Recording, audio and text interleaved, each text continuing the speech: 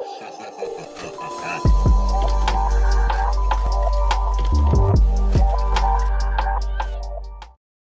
So hey guys WhatsApp and welcome to my show R guys আজকে স্ম্যাকডাউনে কী হলো? Normally তো ভাই, আজকে স্ম্যাকডাউন তো আগে স্ম্যাকডাউনেই টেপ হয়ে গেছিল, কারণ সমস্ত সুপারস্টারই এখন সৌদি আরবিয়াতে চলে গেছে। আর গাইস হ্যাঁ আজকে স্ম্যাকডাউনে কিছু কিছু এমন এমন জিনিস তো হয়েছে। হ্যাঁ বচ হয়েছে জানি, কিন্তু এত বড় বচ যে মানে সামনাসামনি দেখতে পাবো, সেটা আমার সব থেকে বেশি শখ করে দিয়েছে। আর সত্যি বলতে গেলে স্যামিজেনের এই ইন্টারকন্টিনেন্টাল চ্যাম্পিয়ন হওয়ার পরে ফ্যান্সটা সব থেকে বেশি খেপে গেছে। কেন খেপে গেছে, সেটাকে নিয়েও ডিসকাশন করব। আরও প্রচুর প্রচুর নিউজ আছে, তো চলো শুরু করছি। তো ফার্স্টেই তো স্টার্ট করি ভাই স্ম্যাকডাউনকে দিয়ে। তো গাইস স্ম্যাকডাউন স্টার্টিংয়ে হলো গাইস কন্ট্রাক্ট সাইনিং মানে নর্মালি অ্যাডাম পিয়ার সামনে ছিল আর সামনাসামনি মানে যেটা ম্যাচটা যেটা হবে Sonya Deville and Charlotte Flair versus Naomi and রন্ডারোজির মধ্যে ম্যাচ আর ওভারঅল গাইস যে নর্মালি শার্লেট ফ্লেয়ার বলছে, আমি তো ভাই নিয়মিকে হারিয়ে দিয়েছি রন্ডারোজিকেও হারিয়ে দেবো, এরকম যাকে বলতে গেলে কিন্তু মানে এখানে লাস্টে শাট আপ শাট আপ করে মানে ঝগড়াঝাটি চলছিল। কিন্তু অ্যাট দ্য এন্ড গাইস মানে কি বলব সোনিয়া রেবেল বলল যে, আমি এখন যেটা বলতে চলেছি, এরপরে সবারই শার্ট মানে কি বলব মানে মুখ চুপ হয়ে যাবে। সেটা হচ্ছে যে নাকি রন্ডা রোজি বলেছিল যে নাকি ও নাকি একটা হাতে বা বলতে গেলে মানে সিঙ্গেল হ্যান্ডেলই নাকি ওকে হারাতে পারে। তো এই এই মানে কি বলব, এই কথার ভিত্তিতে নাকি সোনিয়া রেবেল বলেছে যে হোয়াই নট রন্ডা রোজি নাকি তার একটা হাতকে পেছনে রেখে ম্যাচ খেলবে? তো এখানে গাইজ একটা স্টিপুলেশন অ্যাড হয়ে গেছে। তো সত্যি বলতে গেলে ভাই, কিছু বলার নেই। মানে তুমি একজনকে সত্যি যদি হ্যান্ডিক্যাপ করে মানে ম্যাচ খেলাচ্ছ। তো কী হতে চলেছে? ভাই, আমার তো তাহলে মনে হচ্ছে, ভাই, এরকমই হতে পারে যে হাত হয়তো বেঁধে দেবে, তো ওইভাবে কাজ করবে। বাট এনিওয়ে মানে ম্যাচ তো ভাই খুবই সিম্পলভাবে হবে, আর এখানে খুব ইজিলি বোঝা যাচ্ছে ম্যাচে কী হতে চলেছে। এখনও পর্যন্ত ভাই বেটিং অর্স তো ভাই রন্ডারোজি আর নিয়মির পক্ষে আছে, কিন্তু হ্যাঁ আমি আমার প্রেডিকশন ভিডিওতেও বলেছিলাম যে যদি এখানে কোনোভাবে কিছু হয়ে যায়, তো আমি সব থেকে বেশি খুশি হব। আর হ্যাঁ গাইজ এখানে মানে রন্ডারোজিকে যথেষ্ট বেশি সিরিয়াস দেখানো তো দরকার, আর তার জন্যই আমার মনে হয় যে এরকমভাবে স্টিপুলেশনটা অ্যাড করেছে, আর কিছুই না। বাট ওভারঅল গাইজ ঠিকঠাকই ছিল। লাস্টে আমরা গাইজ এরকমই দেখতে পাই যে ভাই, কী বলব, মাথা ঠুকে দিয়েছিল কন্ট্রাক্টের ওপর। নর্মালি গাইজ ওখানে ক্যামেরা অ্যাঙ্গেলটা সাইড হয়ে গেছিল, তার জন্য আমরা দেখতে পাইনি যে আগে মাথা নেবেছে গিয়ে আগে মানে কী হয়েছে। নর্মালি ওটাই একটা বচ মতো ছিল, তারপরে গাইজ টেবিল ফেবিল উল্টে দেওয়া হয়েছিল। তো এনি হয়ে গাইজ খুবই সিম্পলভাবে হয়েছে। এখানে guys face team stand tall করেছে। তো স্বাভাবিক ব্যাপার, কিন্তু আজকে রাতে কী হতে চলেছে তো সেটাই খুব দেখার বিষয়। আর তারপরে গাইজ আমরা দেখতে পাই গাইজ শেমাস ভার্সেস রিকোশের মধ্যে ম্যাচ হয়েছিল। নর্মালি গাইজ শেমাসের সাথে রিচ হল্যান্ড ছিল। এবার গাইজ ওভারঅল ম্যাচটা তো ভাই ঠিকঠাকই হচ্ছিল। এখানে গাইজ রিকোশেটের থেকে তো ভাই হাই ফ্লাইং মুভ তো প্রচুর দেখতেই পাই। কিন্তু একটা জায়গা ছিল যখন ভাই রিকোশের ওপর থেকে মানে ডাইভ মারতে গেছিল রিচ হলেন চেষ্টা করেছিল রিকোশেটকে ডিস্ট্র্যাক্ট করতে। ডিস্ট্র্যাক্ট করেও দিয়েছিল, কিন্তু সেমাস ওই ডিস্ট্র্যাক্টটাকে মানে কী বলব, ফায়দা তোলার জন্য ব্রোক কিক মারতে যায়। রিকোশেট মাথাটা নিচু করে দেয়, আর ব্রোক কিক লাগাতে গিয়ে পাটা চলে যায় রিংয়ের ওপর রিংয়ের মানে কী বলব ভাই রোপের ওপর মানে আটকে যায়। ওই জায়গাতেই গাইজ তারপরে মানে কি বলব, ওটা কোড ব্রেকার বা বলতে গেলে ফেস বাস্টারও বলতে পারো। মানে ওরকমই ভাই ওই মুভটা দিয়ে গেছে লাস্টে সেমাসের ওপর পিন করে দেয়। এটাতে সেমাস খোঁচে যায় আর রিচ হল্যান্ডকে ধাক্কা মেরে দেয়। আর গেস পসিবলি এটা ভাবা হচ্ছে যে সেমাস আর রিচ হল্যান্ডের এই টিমটা বোধহয় স্প্লিট হয়ে যাবে। মানে দেখো অ্যাকর্ডিং মানে যা এরকম দেখাচ্ছে। আর আমার মনে হচ্ছে ভাই, তোমরা প্রচুর মানে স্ম্যাকডাউনের মধ্যে প্রচুর বেশি ট্যাক টিম চলে এসছে না? মানে লাস্ট লুথারিওস না, ওটার তো আবার নামও চেঞ্জ হয়ে গেছে। কি লুথারিয়স লাভার্স না কি যেন একটা। বাট এনি হয়ে গেছে মানে এখানে হয়তো স্পিড হয়ে যাচ্ছে, আর আমার মনে হচ্ছে ভাই এখানে মানে অ্যাকর্ডিং মানে রিপোর্ট বলছে যে রিচ হল্যান্ড নাকি ফেস টার্ন করতে চলেছে, তো সেটা করলে যথেষ্ট বেশি সেরা হবে। দেয়ার নো ডাউট আমার মনে হয় যথেষ্ট ভালো হবে। আর তারপরে আমরা দেখতে পাই গাইস নর্মালি যে উসো ভার্সেস আইভরের ম্যাচ হচ্ছে ম্যাচ হচ্ছে নর্মালি তোমরা তো জানি যে এলিমিনেশন চ্যাম্বারের মধ্যে তো ভাই উসোস ভার্সেস ভাইকিং রাইডার্সের মধ্যে ম্যাচ হবে। First SmackDown tag team championship world guys match যথেষ্ট ভালো ছিল। লাস্টে ভাই আইভর ওই ওয়ান সাইন দেখিয়ে মানে যেটা মানে উসোসটা করে বা ব্লাড লাইন যেটা মানে ওয়ান যে সাইনটা করে ওই সাইন দেখিয়ে ওপর দিয়ে ডাইভ মেরেছিল মানে পুরো স্প্ল্যাশ দেওয়ার মতো ডাইভ মেরেছিল। ওতে ভাই খেপে গিয়ে জিমিউসও ওখানে মাঝখানে ইন্টারফেয়ার করে। তো ভিআর ডিসকোয়ালিফিকেশন এখানে আইভার জিতে যায় বাট স্টিল গাইস এখানে মানে কি বলব, ওখানে যে আইভারের যে মার্কসটা ছিল মার্কসটা দিয়ে অ্যাটাক করতে গেছিল, কিন্তু অ্যাট দ্য এন্ড মানে এরিকার আইভার রিঙের ওপর স্ট্যান্ড অল করে, তো খুবই সিম্পল ছিল। তারপরে আমরা দেখতে পাই guys Drew McIntyre Madcap Moss আর হ্যাপি করবেনের মধ্যে ফাইনাল সেগমেন্ট আর এখানে ভাই আমার ড্রিউ ম্যাকিন্টারের কথাটা শুনে সত্যি খুব কান্না পাচ্ছে। ভাই ড্রিউ ম্যাকিন্টার বলছে লাস্ট ইয়ার আমি এলিমিনেশন চ্যাম্বারের মধ্যে ডাব্লিউবি চ্যাম্পিয়নশিপকে ডিফেন্ড করেছিলাম রিটার্ন করেছিলাম চ্যাম্বার ম্যাচের মধ্যে। আর এবারে আমাকে কী সব করতে হচ্ছে? বাট ঠিক আছে ভাই, তারপরে তো এখানে জাস্ট সিম্পল গাইজ কথা কাটাকাটি হচ্ছে। আর এখানে ভাই ডিউ ম্যাকিন্টার বলছে, আমি তোকে ধুয়ে রেখে দেবো, তুই বেঁচে থাকতে পারবি। না এরকম জায়গায় বলতে গেলে মানে একটা হিউজ স্টেটমেন্ট দিয়ে দেয়। তো বোঝাই যাচ্ছে ভাই, এখানে Drew McIntyre just two on one সিচুয়েশানে খেলবে। আর কিছুই না ফলস কাউন্ট এনিওয়ার ম্যাচ বলে কথা, তো যথেষ্ট বেশি সিম্পল আর তারপরে গেছে আমরা দেখতে পাই ডাব্লিউডি intercontinental championship match সেমিজ Sami Zayn versus Shinsuke Nakamura ভাই, এই ম্যাচটার মধ্যে যেরকমভাবে স্টার্ট হয়েছিল, আমার মনে হয়েছিল, ভাই, এরা যথেষ্ট বেশি ভালো ফ্লেভার দেবে এই ম্যাচটার মধ্যে।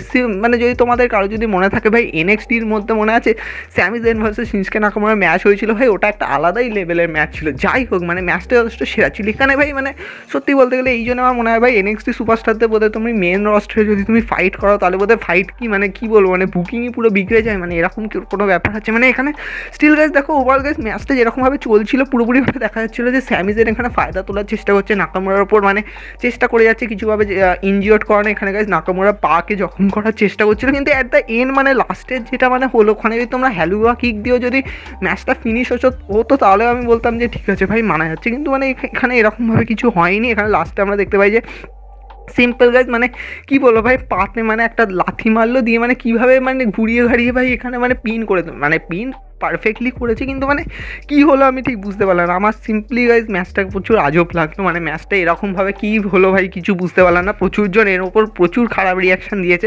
স্বাভাবিক ব্যাপার, তোমরা বুঝতেই পারছ যে ভাই ম্যাচটা এরকমভাবে কেন শেষ হলো?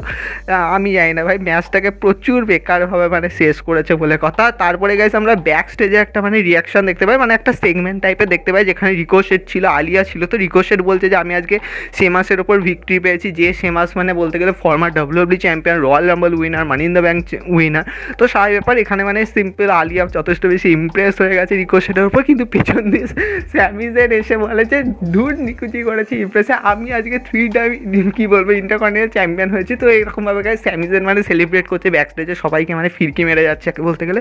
তারপরে গাইস আমরা দেখতে পাই face to face guys Roman Reigns R Goldberg guys champion আর চ্যালেঞ্জারের মধ্যে ফেস টু ফেস আর ওভার গাইস বলা যেতে পারে রোমিন রেন্স তো ফার্স্টে আসে। আর পল হেভেন যাও বা একটুখানি ইন্ট্রোডাকশন করতে গেছিল রোমিন রবিনেন্সের ওই টাইমে গাইস থিম সং বেয়ে যায় গোলবাগে। আর গোলবাগে পুরো, কী বলব, পুরো এন্ট্রি নেয়, পুরো একদম লকার রুম থেকে ওরকমভাবে এন্ট্রি নেয়। আর গাইজ নর্মালি গোলবার্গ সেরকমভাবে কোনো মাইক ধরেই নি জাস্ট সিম্পলভাবে মানে রবিনেন্সের সামনে দাঁড়িয়ে ছিল।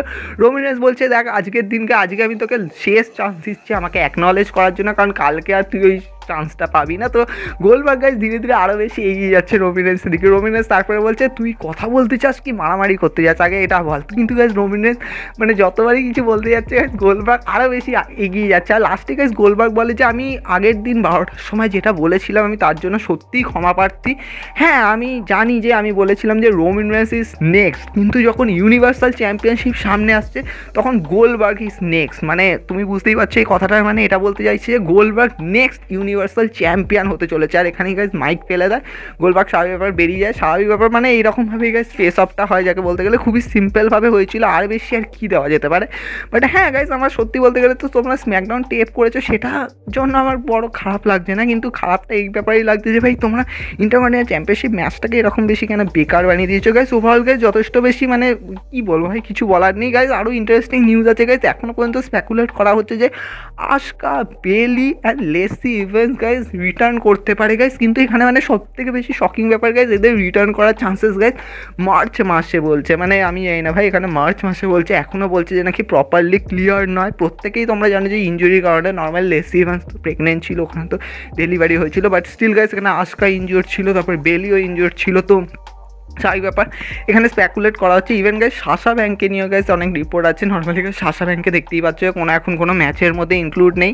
বাট স্টিল গাইজ শাসা ব্যাংকেও একটা পার্ট দেওয়া হবে। আর বেসিক্যালি গাইজ ভাবা হচ্ছে হয়তো শাসা ব্যাংক মেলিনার সাথে গাইজ ম্যাচ খেলবে রাসেল মিনিয়ার মধ্যে। বাট হ্যাঁ ওটা একটা ড্রিম ম্যাচের মতো। বাট স্টিল এখনও কিছু ভাবা যাচ্ছে না। আরও গাইজ ইন্টারেস্টিং ব্যাপার গাইজ তোমরা সবাই জানো যে একটা পেপার ভিউ বলব না, একটা ইভেন্ট হতো গাইজ অনেক আগে হতো। মানে কখন বলো? টু থাউজেন্ড ফিফটিন ওরকম টাইমে যেটা হতো গাইজ ডাব্লিউডব্লিউ সুপারস্টার বলে গাইজ ওটা নর্মালি স্যাটারডে টাইম করে হতো, যেমন ডাব্লিউডব্লিউ মেন ইভেন্ট হয়, সেরকমই মানে ডাব্লিউডব্লিউ সুপারস্টার হতো বাট স্টিল গাইজ এখন ভাবা হচ্ছে যে আবার একটা মানে এরকম মেন ইভেন্ট আনা হবে, যেটা নাম হবে guys Saturday nights main event guys এরকমভাবে নাম করা হবে, তো এরা, এর একটা ট্রেডমার্ক চলে এসছে, তো এটা একটা ডিফারেন্টভাবে যা সিম্পল গাইজ বলা যেতে পারে, ওই যে সমস্ত নর্মাল সুপারস্টার বলতে গেলে এনএক্সটি থেকে আসা সুপারস্টার তারাই গাইজ সেখানে ফেস টু ফেস করবে, তেমনভাবে কিছু নয় যে প্রচুর বড় সুপারস্টার আসবে বাট স্টিল গাইজ এটা একটা হোম শো বলতে পারো, বা এরকম ছোটোখাটো কোনো ইভেন্ট শো বলতে পারো। তো এনিওয়ে কী বলার আছে? তারপরে গাইস আরও ইন্টারেস্টিং গাইস নিউজ হচ্ছে guys Johnny Gargano finally father হয়ে গেছে guys Johnny Gargano and Candice LeRae finally guys প্রথম চাইল্ড নর্মালি জন্মে এসে গেছে মানে কী বল পৃথিবীতে এসে গেছে। কিন্তু গাইস এখান দিয়ে প্রচুর জন ভাবছে যে জনি গর্গানো কবে রিটার্ন করতে চলেছে? আদৌ গেস ডাব্লিউডব্লিউতে আসবে নাকি এই ডাব্লিউতে আসবে? প্রচুর এখানে সব থেকে বেশি প্রচুর হাইপ হয়ে গেছে, কিন্তু হ্যাঁ এখনও পর্যন্ত অত বেশি গরমাগরমি আসেনি, যখন আসবে তখন তো আরও ভালো মতোভাবে বুঝতে পারব। আরও গাইস একটা ইন্টারেস্টিং নিউজ সামনে এসেছে, সেটা হচ্ছে গাইস গোলবার্গ গাইস অ্যাড্রেস করেছে এবার ববি ল্যাশলির ফিউডের সঙ্গে। নর্মালি গাইস তোমরা জানো যে গোলবার্গ ভার্সেস ববি ল্যাশলি ফিউডটা হয়েছিল গাইস এই ফিউডের মধ্যে ওর সান গেজও গাইস ইনক্লুড ছিল মানে গোলবার্গের সান আর গাইস গোলবার্গ বলেছে যে প্রত্যেকটা বাবাই চায় তার ছেলের সামনে নিজেকে একটা আইডল প্রমাণ করতে, আর আমি সেটা প্রমাণ করার চেষ্টা করেছি।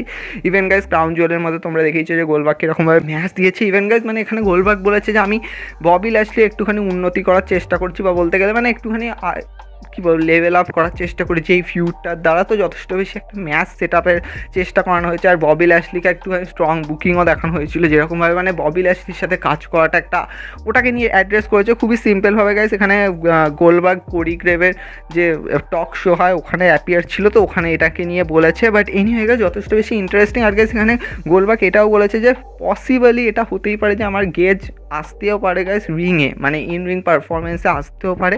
কিন্তু হ্যাঁ গেজ নাকি নর্মাল নাকি বেস বস প্লেয়ার তো নর্মালি গাইস ও গোলবার্গ এটাই বলছে যে, আমি চাই যে ও যেন স্পোর্টসের সাথে এঙ্গেজ থাকে। কিন্তু হ্যাঁ পসিবলি এটা হতেই পারে যে তাকে হয়তো রিংয়ে দেখা যাবে। গাইজ এরপরে আমাদের যে ফাইনাল যে নিউজ সেটা সব থেকে বেশি শক করে দেওয়া সেটা হচ্ছে গাইজ যখন তোমরা জানতেই পারলে যে, কালকে হল অফ ফেম ক্লাসে guys two thousand twenty two hall of fame ক্লাসে আন্ডারটেকার জয়েন করেছে। তো প্রত্যেকটা সুপারস্টার গাইজ ফেটে পড়েছে। এখানে দেখতে পাচ্ছ কেন আছে ট্রিপল এইচ আছে স্টোন গোল্ড আছে শন মাইকেল আছে ডেমিয়ান প্রিস্ট আছে রিয়া রিপ্লি আছে, এখানে ড্রিউ ম্যাকিনটা আরও ফটো পোস্ট করেছে, প্রত্যেকটা সুপারস্টার গাইজ এখানে ফটো পোস্ট করেছে, যথেষ্ট বেশি এটাকে শখ হয়ে গেছে প্রত্যেকটা সুপারস্টার প্রত্যেকটা মানুষ, তো সত্যিই বলতে গেলে এটা গ্রেটেস্ট ব্যাপার বাট হ্যাঁ গাইজ আন্ডারটেকারকে ফাইনালি সম্মানটা দেওয়া হচ্ছে, তো এটা তো খুবই স্বাভাবিক, এটা হওয়ারই ছিল কারণ তিনি তো always greatest of all time but any anyway guys আজকে লাস্টে মানে কী বলব ভাই, আজকে রাতে কী হতে চলেছে সেটা সব থেকে বেশি শকিং ব্যাপার অলরেডি গাইজ প্রচুর প্রচুর স্পয়লার বেরোচ্ছে যে পল হেমেন কী করতে চলেছে, তো তা নিয়ে একটা পুরো বিস্তারিত ভিডিও আছে, ওই ভিডিওটা দেখতে পারো এনিওয়ে গাছ কালকে দেখা হচ্ছে। চ্যানেলে নতুন হলে সাবস্ক্রাইব করে দাও। দেখা হচ্ছে কালকে সকালে।